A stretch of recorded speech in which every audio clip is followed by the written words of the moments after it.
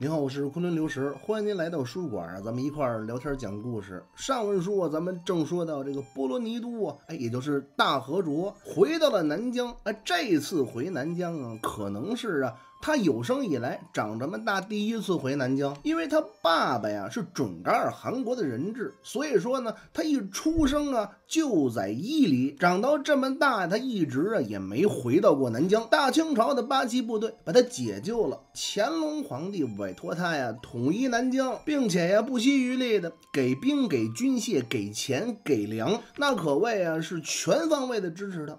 这次回南疆啊，他第一站奔哪儿啊？他先到了巫师城，我们知道啊，这儿的这个城主阿奇木伯克呀是霍吉斯。那有人说了，那到了这儿了，这两个人又都是白山派，这布罗尼都和霍吉斯两个人谁领导谁，谁听谁的呀？这个呀无所谓，因为这个两个人的这个权利啊，他不矛盾。霍吉斯呢是这个阿奇木伯克，城主是世俗官员。这大和卓波罗尼都啊，他是宗教领袖。但是很明显，这大清朝啊派过来的这一员将和这一千四百兵啊，那是派给人家波罗尼都的。所以说，这波罗尼都自然就占了主导地位。到了这个南疆之后啊，就看出这个波罗尼都片儿来了。哎，透着那么豪横，对这个收复整个南疆啊，简直可以说是胸有成竹。那他为什么有这么大的底气呢？好家伙，我这何止算是衣锦还乡啊？那我们是带着兵来的，跟这个黑山派呀谈好了，咱们就谈。大家都是穆斯林吗？一家人，谈不好啊，兵强马壮，哎，就不跟你谈了，你就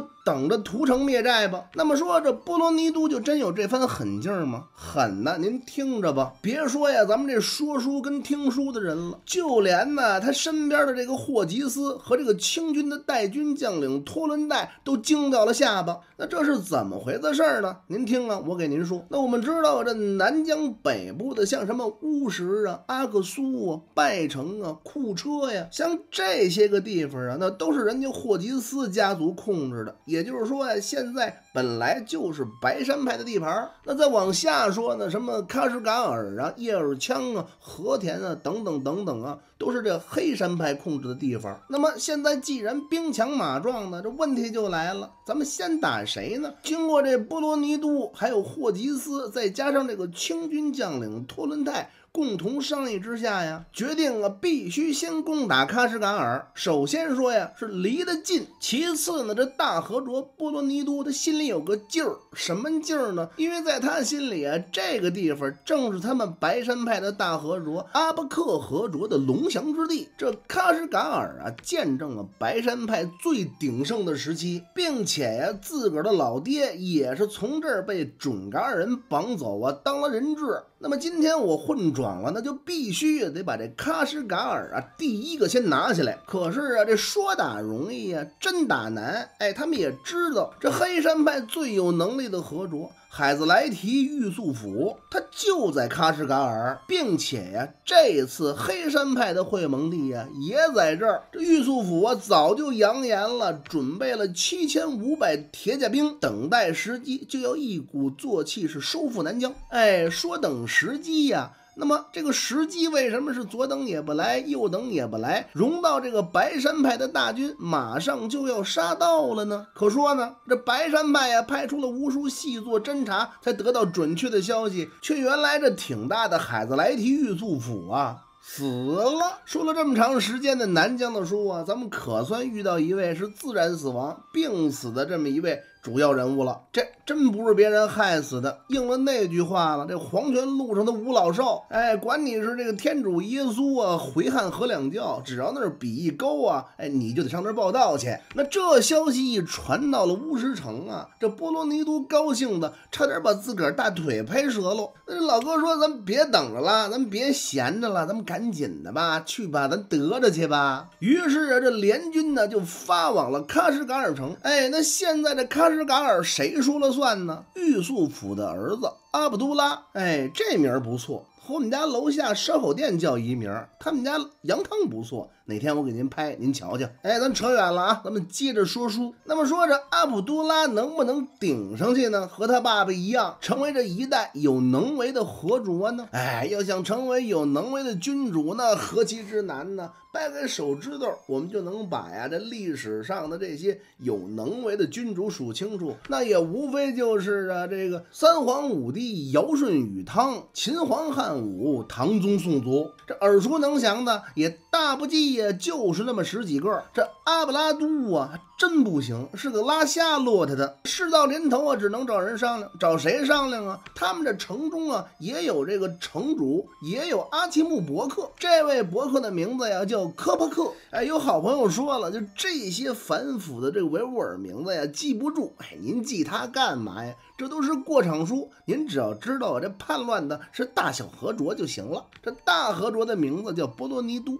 小河卓的名字叫霍吉战，和这个乌石城的城主霍吉斯只差一个字。阿卜杜拉呀和这科巴克两个人一商量啊，哎，各有各的主意。这城主伯克说呀，咱不能啊往这个叶尔羌跑，那不是您的地儿。虽然呢跟您同宗同源，可是那儿的这个大汗呢是您叔叔，这气量狭小啊，您也不是不知道。咱往那儿跑，他能容下咱们吗？要我说呀，咱们往中亚跑，出国乌兹别克斯坦，哎，那儿您觉得怎么样啊？哎呀，我跟您现在说的呀是白话，那会儿他呀可不知道什么叫中亚，他说往哪儿跑啊？叫安吉，今天的费尔干纳盆地附近，跑到那儿之后啊，等到以后兵强马壮啊，再杀回来报仇也不迟。阿卜杜拉一听啊，哎，你说的倒是对，他也真心认可。可是啊，故土难离呀，他跟这个伯克说呀，说我走吧的，因为我的祖坟呢就在这个叶尔羌城，如果呀死在了叶尔羌啊，那只能说是我命运不济，还是走一步算一步吧。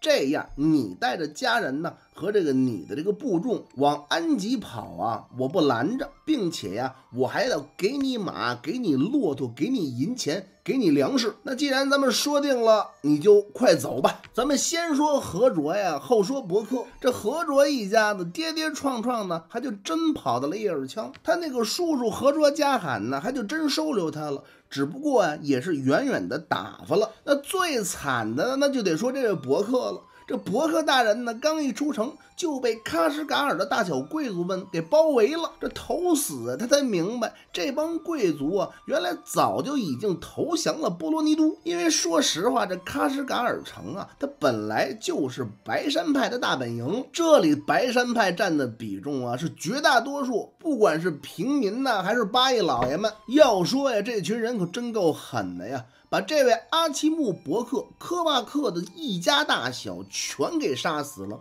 唯独剩下了一个小儿子，躲在了草丛当中。躲过了几天，还被这些人发现，被送到了这个波罗尼都的大营当中。这波罗尼都也不知道那天是怎么了，是病了呀，还是疯了呀，还是急于的想杀人立威？他竟然呢一道令下，把这位伯克的小儿子呀给炖了。炖熟了之后还给吃了，哎，跟您说啊，一句瞎话没有。学徒我，在这个地方也不敢说瞎话。这《合卓传》上边写的是明明白白的。《何卓传》那可是真正的穆斯林写的，那可不是其他的异教徒瞎编乱造的。这大和卓波罗尼都一鼓作气，一下子就收服了喀什噶尔，并且呀，在喀什噶尔对黑山派进行了无差别的屠杀。他们杀人要杀到什么地步？他们一屠起城来，要讲究啊，用鲜血推动碾磨，用敌人的血呀推动碾磨，磨几袋子白面来吃吃。一下子呀，这大和卓的名声可就传出去了。这黑山派们啊，纷纷议论这位。白山派的新和卓杀剐存伐，谈笑间人头落地。这会儿的大和卓波罗尼都都已经杀红了眼了。他想着呀，一鼓作气就拿下这叶尔羌，指导着黑山派的老巢。在这叶尔羌城啊，住着黑山派最大的首子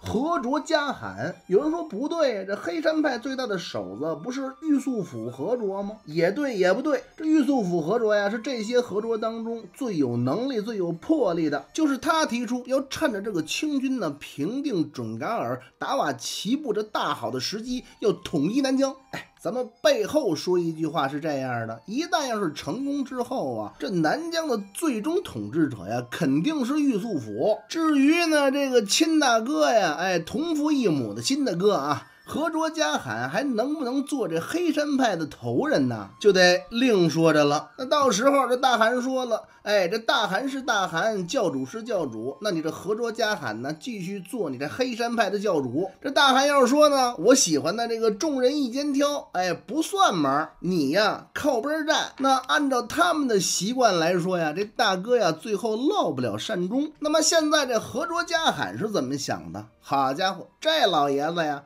他是议和也行啊，逃跑也行，总之啊，我不打。那么这会儿这大和卓波罗尼多也早就看出了这黑山派的色厉内荏，于是啊，就决定趁热打铁，发兵啊，拿下伊尔羌城。哎，谁想到这时候啊，从草原上来了一支信使的队伍。那位说哪儿的草原呢？北疆的草原啊，来的是谁呀？是阿穆尔撒纳的特使。